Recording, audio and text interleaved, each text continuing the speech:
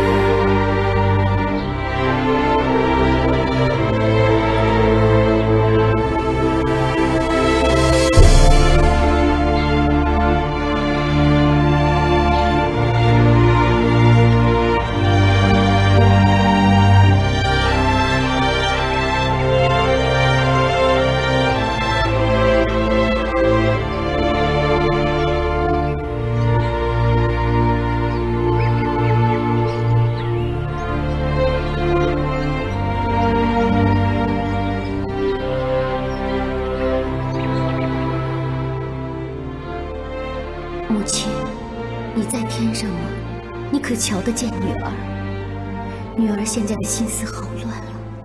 难道永巷之中的日子就是这样吗？女儿现在才晓得什么是熬，熬得自己都要哭死了。母亲，究竟是不是在天上才能避开尔争我夺，避开飞短流长？究竟是不是在天上才能有一同相守终老的幸运？八荒的鬼，天上的神，日月星辰，山川百岳，你们都看着我。我的心只可为一人而跳动，我的血只可为一人而流，我的身体只为孕育一人的神圣血脉而存在。他就是我的丈夫，高祖皇帝的圣意，当今皇上的太子，将来的君王。郑君的身、心和血都乱了，这就是郑君的罪。我却明白，这身、心和血，只能为一个人而准备。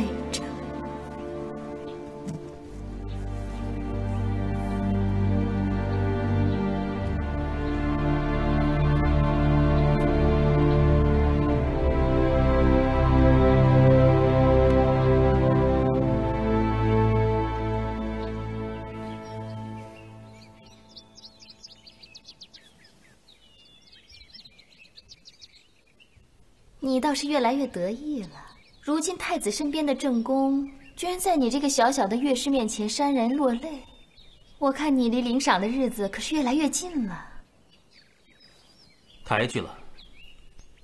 这太子妃的眼泪，哪能让在下看见？在下是偷偷将这丝帕揣在怀中带出来的。哟，你倒是越来越谦虚了。这么推脱功劳，可不像我当时认识你时候的做法。这才去太子妃那儿几天呀，说话的语气都变了，能让香月氏动了真感情，这太子妃可真是了得呀！哈，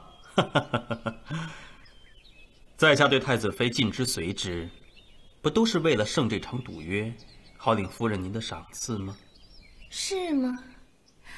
我还以为是大人一路迷恋风景，贪了玩耍，已经忘了自己去的地方是哪里了。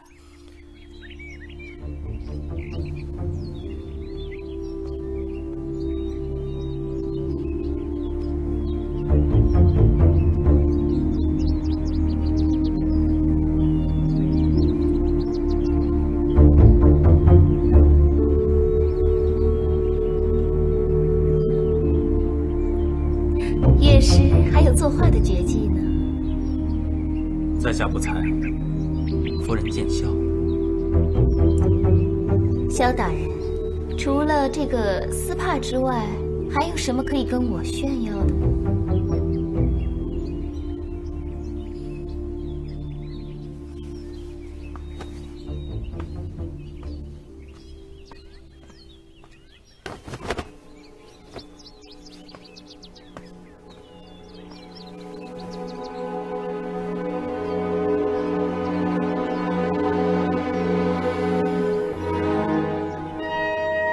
夫人不妨。到寿院走走，看看院中的鸟兽，就知道这画中的鸾凤该如何下笔了。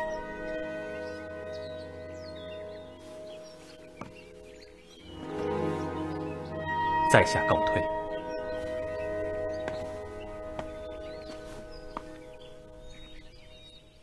就跟夫人一样，在下为太子妃披上披风的时候，她也没有拒绝。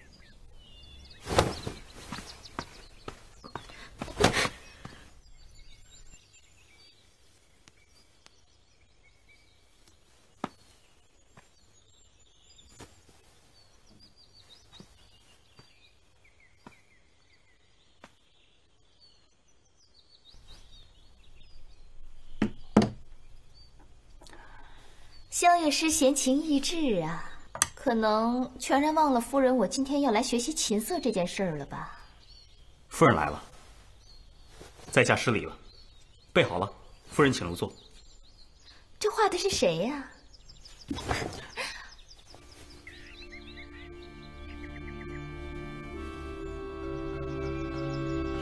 我看萧月师的画工可真不怎么样。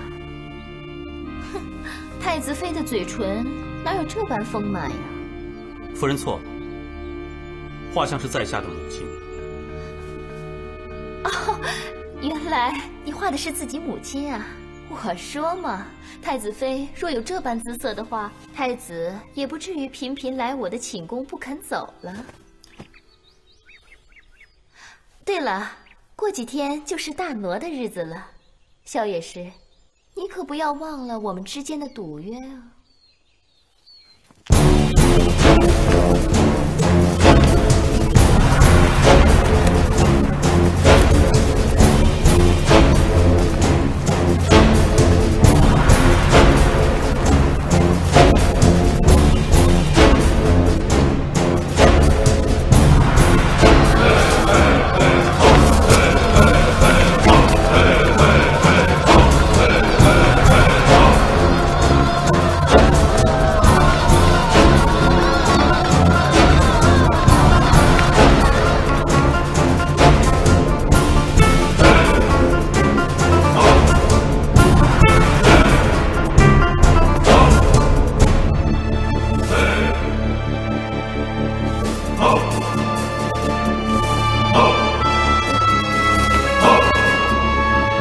Oh!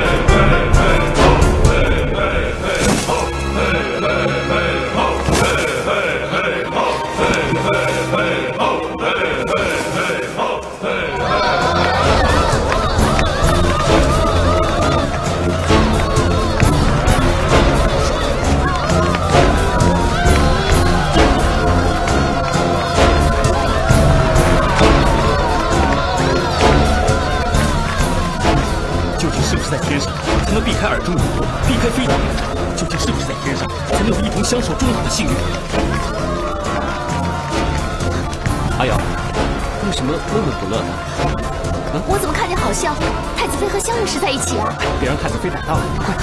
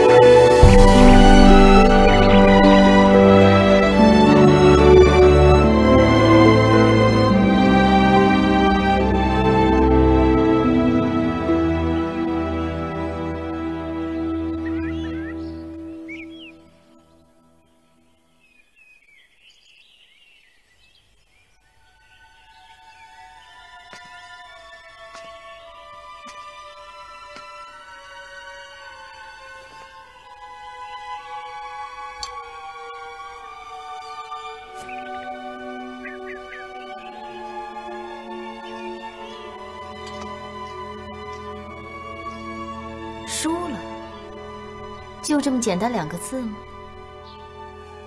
是的，输了。哼，你是这么容易输的人吗？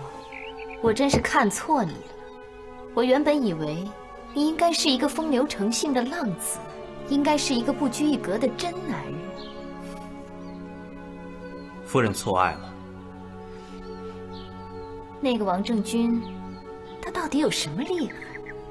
可以让你眼中泄出温柔来。他到底有什么能耐，让猎人收起了叉子，让你为了他，你的脊背都弯了？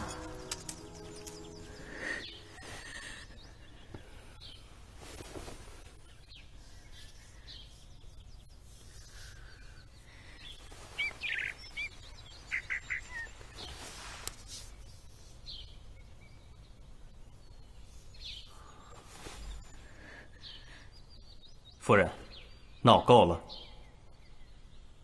怎么？现在你倒成了一个真男人了。如果真是一个男人，你就去找王政君呢，去把当朝的太子妃你压在身下呀！你，在下是男人，可不是夫人想要在下成为的那种男人。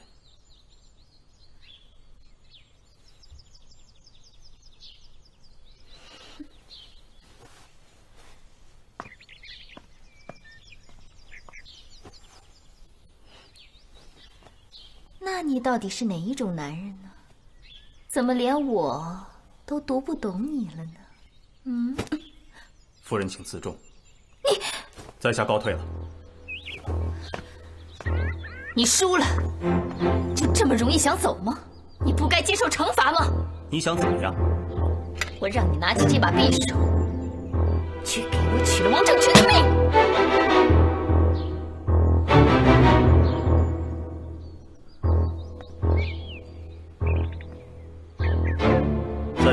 模糊了那么久，现在终于看清楚了。夫人的心果然是黑的，蛇蝎般黑。你输了，这就是我给你的惩罚。你不愿意接受吗？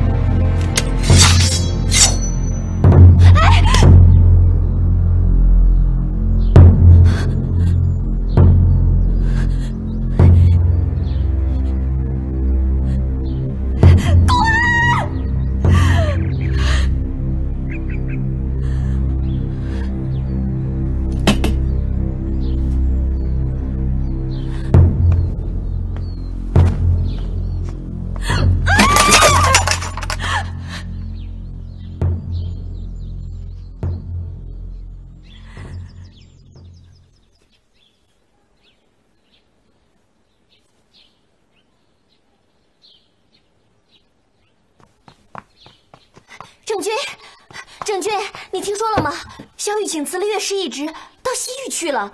啊，我知道。阿元，你先下去吧，我想一个人安静一会儿。哦。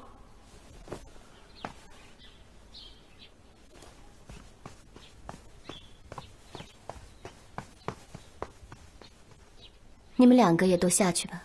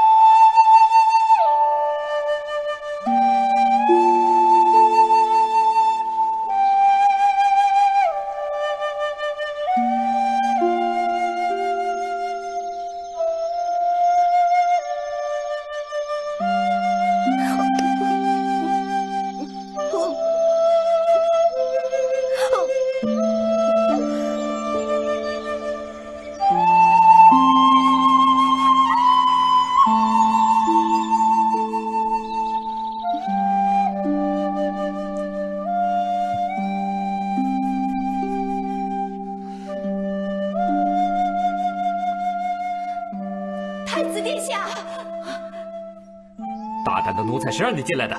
请太子恕罪，实在是有十万火急的事。什么事？讲。太子妃殿下有身孕了。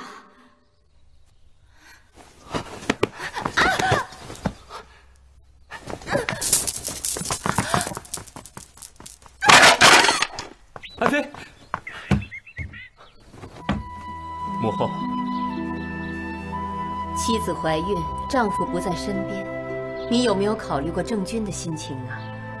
一大早也不知道跑到哪儿去了。郑军怀的是你的第一个孩子，你看看你，就快要做父亲了，也应该学会承担为人父、为人夫的责任。母后教训的极是，孩儿以后不会再冷落郑军了。你哪不舒服啊？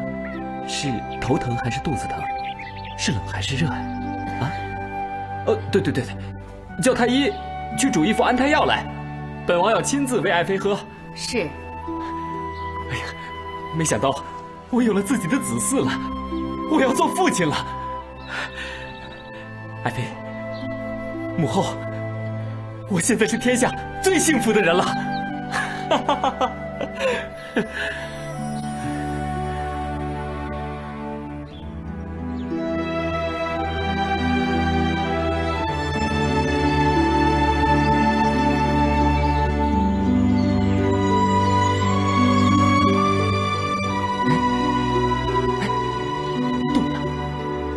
动啊！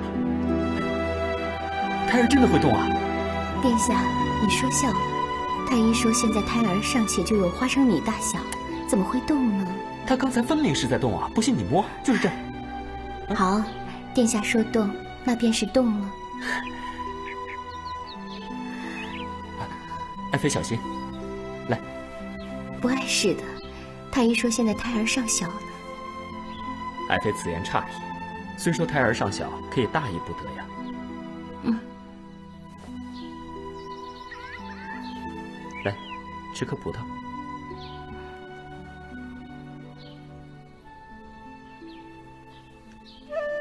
是酸还是甜？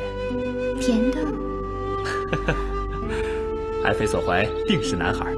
为什么呢？葡萄本是酸的，可是吃到你口中却是甜的。民间的人说酸儿辣女嘛。所以，爱妃所怀定是男孩。殿下，这只是民间的传言，怎么会那么当真呢？爱妃有所不知啊，民间的传言乃是百姓历经几代甚至几十代口口相传下来的。他们的传言比那书中圣贤的文章，可要来的真实啊。那万一要生下一个女孩怎么办？哎，不会错，不会错的，一定是男孩。父皇说，他也希望你为他诞下皇孙。爱妃，你一定不能辜负父皇对我们的期望啊！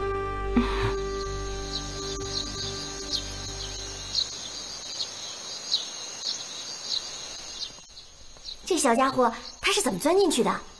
将来怎么生出来呀？阿瑶来了，啊，等你以后自己做了母亲，你就知道了。哎，我好想做母亲啊！你害不害臊啊？这话是姑娘家说的吗？这有什么害臊的呀？做母亲不是女人的天性吗？难道你不喜欢孩子啊？只有自己经历了以后，才知道这是件多么美妙的事情。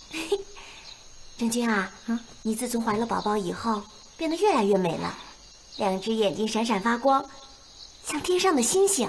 真的吗？嗯，你一定是这个世界上最美最美的母亲。生孩子有什么了不起的？是女人不都会生孩子吗？切，你肯定是嫉妒郑君才这么说的。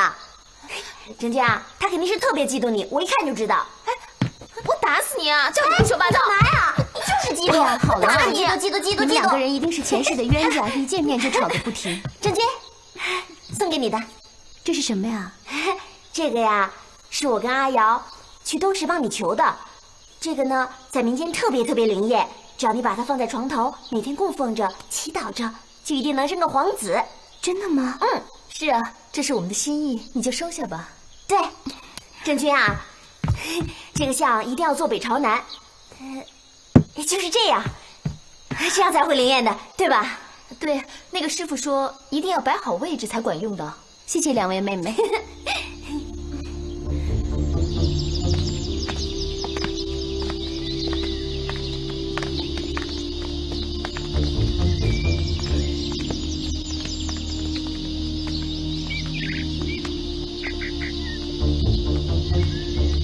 傅良娣，既然已经得到了自己梦寐以求的东西，为什么还是一副失魂落魄的样子？很久没见了，夫人，现在可好？我自从搬入太子宫，便俗务缠身，一直未能去拜见你，心里面正过意不去呢。这半年以来，你一天都没有踏进过玉兰殿，只是因为忙吗？别以为背靠着太后这棵大树就万无一失了。对于那些忘恩负义、过河拆桥的小人，本夫人有本事把他捧上天，自然也能将他打入地狱。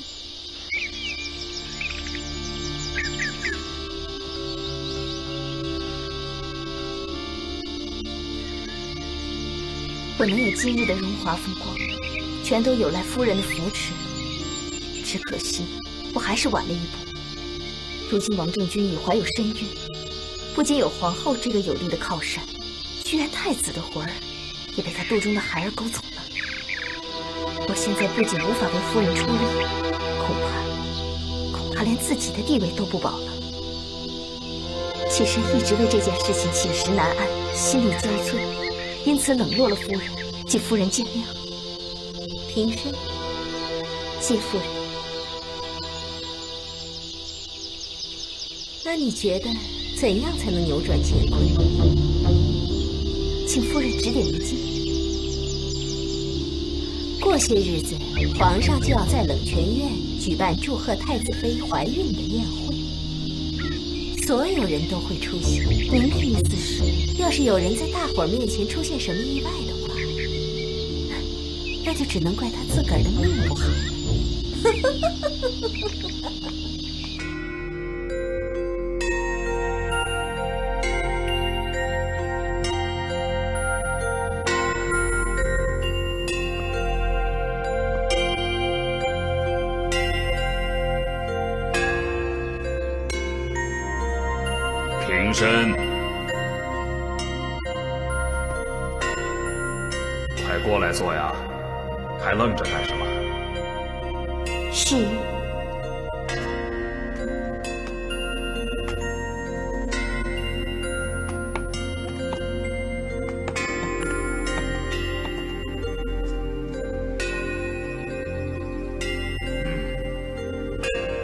免礼。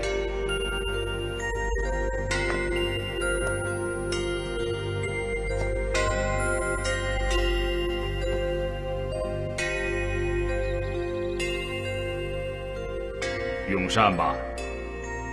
谢陛下。谢父皇。朕一直觉得这偌大的皇宫，总是有几分冷清，可就是想不起来到底缺少什么。自从郑君怀孕的消息传来，朕才想明白，原来缺少的是孩子呀。是啊，无论是孩子的哭声还是笑脸，都能让人心底感到明快愉悦。再沉闷的生活，也有了充实的活力。嗯，如果能顺利诞下皇子，那么朕的设计就后继有人了。对于太子妃有孕在身这件喜事，臣妾是打心里头高兴。更何况这又是陛下的长孙，这万一要是生下一个继承人，那岂不是再好不过了？可惜呀，这生孩子的事儿啊，就像抓阄，运气好不好的，就得由天来注定。这事前的希望越大，这事后的失望也就越发难过。难道你不希望郑居生的是一个男孩吗？说这种扫兴的话。臣妾失言，望陛下恕罪。嗯，就算生下的是女孩，都是儿臣的骨肉，我会一样的疼爱她。你又说的是什么糊涂话？难道朕花费了这么多的时日和精力去期盼的，是一个对江山社稷毫无用处的女孩吗？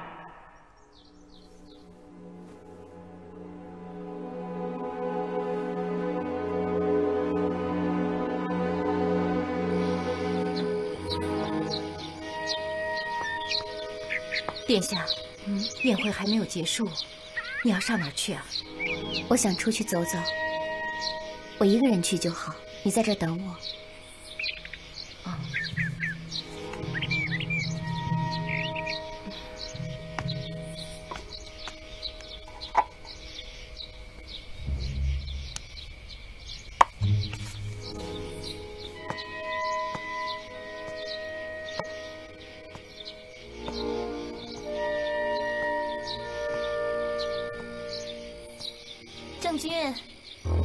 来吧我们一起说说话。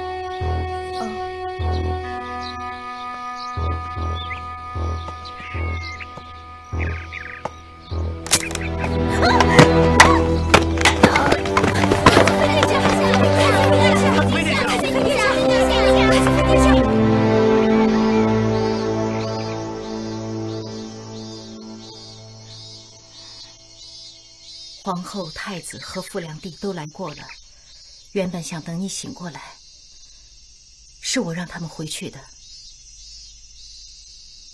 我的孩子呢？我的孩子还好吗？太医诊断过，孩子平安无事，你也只是受了点惊吓和皮外伤。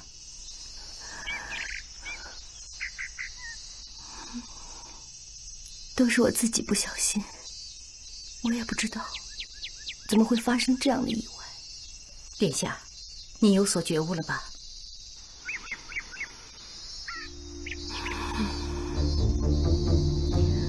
那如果你换作是我，你会怎样做？我不想说。如果连输都不要紧的话，最终会被敌人夺去性命的。而你现在的性命。不仅仅属于你自己，还有你的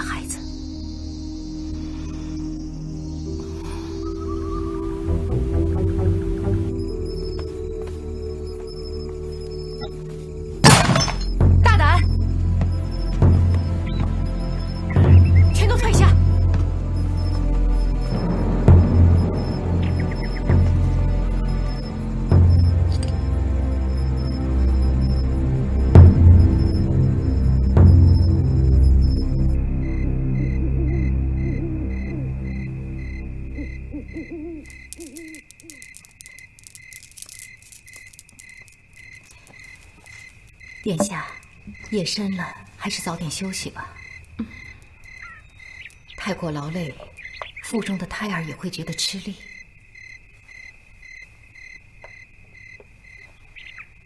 今天工人进来打扫，不慎把你床头的玉像摔碎了，我已惩罚他们了。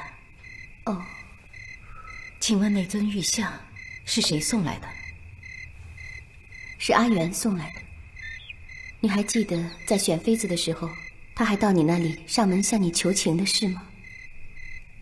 啊，是啊。我从来就没有见过那么大胆的丫头，做什么事都凭一股冲动。可她看起来虽然鲁莽，心地应该不坏呀。她是个心地很好的人，只是有些直爽，什么事都挂在脸上。但是她是个很真的人，不像宫里其他人，都好像戴着面具一样。那是不是还有人和他一起送这个玉像啊？有啊，你怎么知道的？是谁和他一起送的？请你告诉我。是阿瑶啊。公孙夫人，玉像出了什么问题了吗？嗯，没有。我只是觉得好奇。既然玉像已经毁了，你就不必放在心上了。你只要全心修养就好。剩下的。就交给我来处理吧，夫人。夫人，请上座。嗯。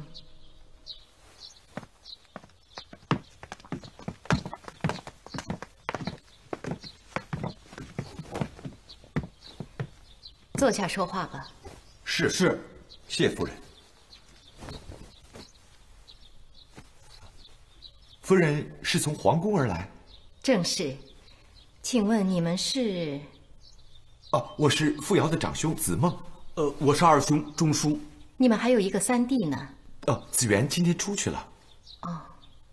呃，夫人纡尊降贵到毕府有何要事啊？难道是阿瑶在宫中闯了什么祸？不是，傅良帝深受太子的喜爱，一切都很美满。啊，那那您是？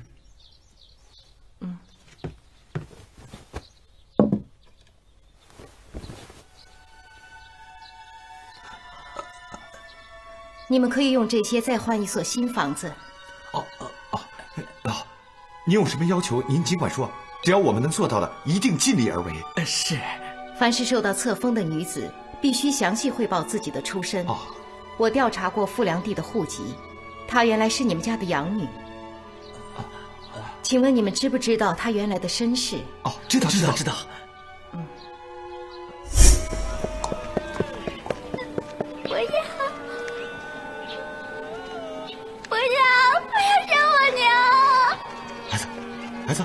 醒醒，醒醒！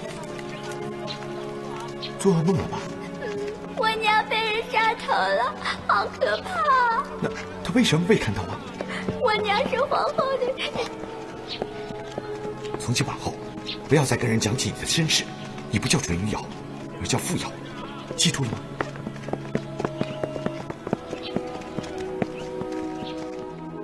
听说他母亲以前就是因为皇太后被毒杀的事情而受株连的。后来到了我们家，改姓傅，叫傅瑶。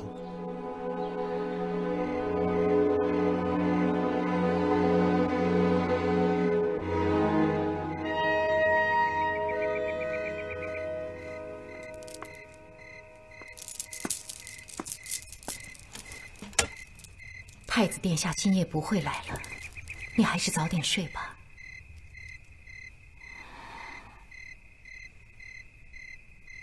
夫人，我听说今天您去了傅良娣的府上，您是在查什么事吗？或是您有什么事在瞒着我？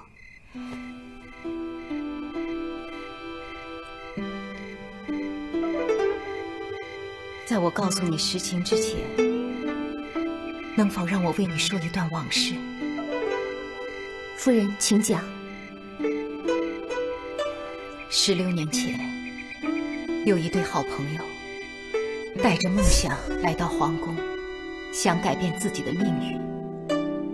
其中一个受了权力和金钱的诱惑，卷入了一场当时的谋杀案，亲手毒害了当时的皇后许平君，并且嫁祸给自己的朋友，把他也一同送上了断头台。你是怎么知道这件事情的？你到底是谁？还记得小时候把你带进皇宫看你母亲的人吗？郑君，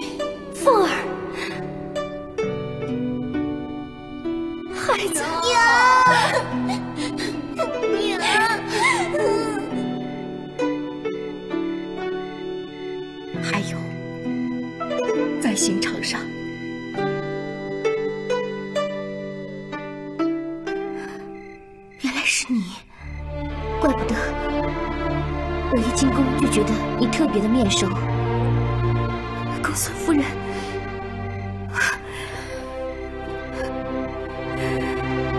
那你为什么没有早点告诉我呢？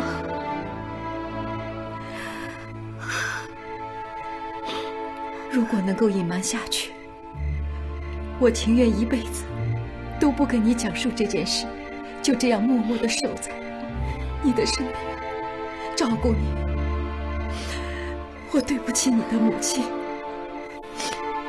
即使当时知道事情的真相，我也无能为力，什么忙都帮不上。不是的，我真的是无能为力。那不是你的错，只要世间还有人知道我母亲是无辜的，她在天的亡灵就不会觉得孤单。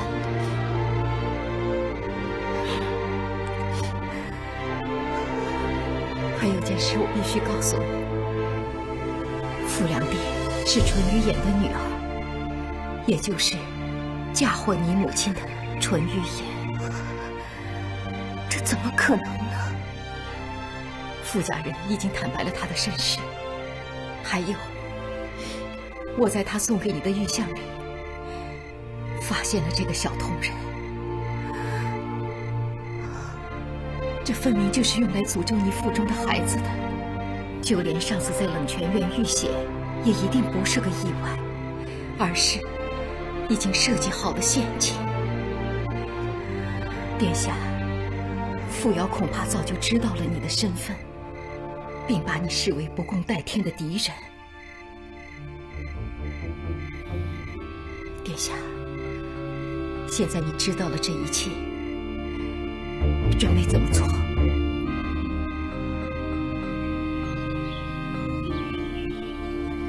我有非常紧急的事情要向梁帝夫人您禀报。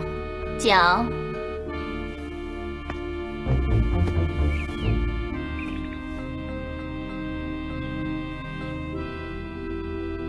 昨天，公孙夫人到傅家打探你的身世。知道你从前姓淳于，什么？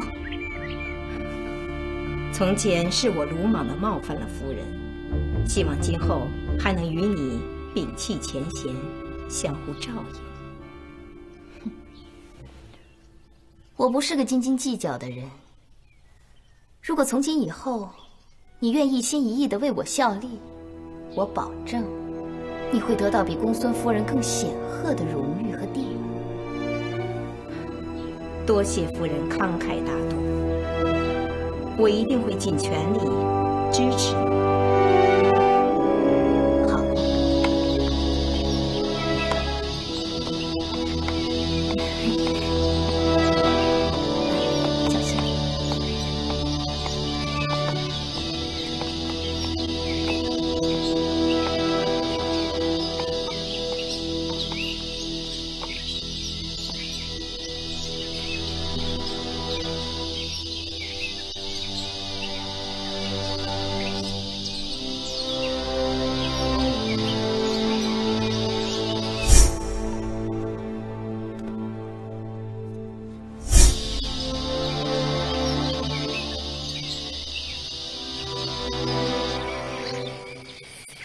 不到吧？十六年前那个皮包骨的小姑娘，如今已经变成一个风华绝代的美人，堂堂的站在你面前。是你母亲害了我一家，我这辈子永远也不会放弃。你们带着禁卫出现的那天，就在那天，我失去了一切。我的童年、母亲的爱、姐姐的笑脸，全部都被你们夺走了。那天的事情是一个陷阱。你以为我会相信你？毒害皇后，陷害我的母亲，都是你母亲一手造成的。住口吧你！我最讨厌你这种假模假式的嘴脸了。